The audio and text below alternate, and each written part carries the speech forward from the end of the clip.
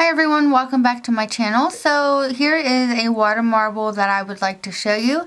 And for the colors, I'll be using OPI I Sing in the Coppera. This might be a uh, rebottle of Nicole by OPI or Sephora by OPI. And Wet n Wild French White Cream. And Essie Wicked. So I'm going to go ahead and start my bullseye.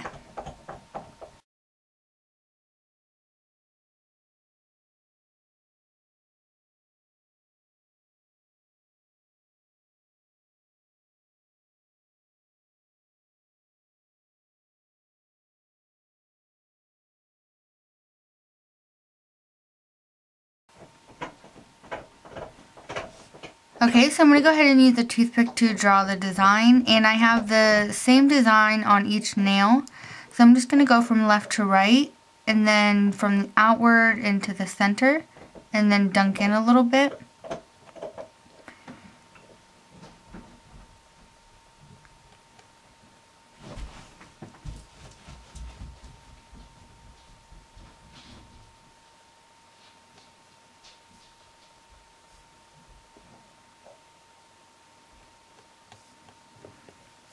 Okay, and then I'm going to try and center that onto my nail. And here I just have one coat of Wicked and some scotch tape.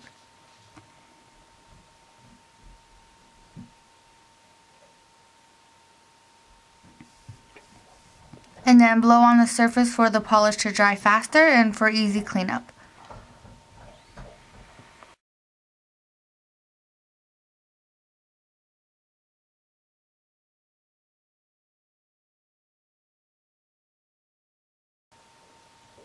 Okay, so I'm going to go ahead and remove the tape and clean up and I'll meet you back with the end design. Okay, so here's the finished design and I hope that you enjoyed this video and I just wanted to do a water marble.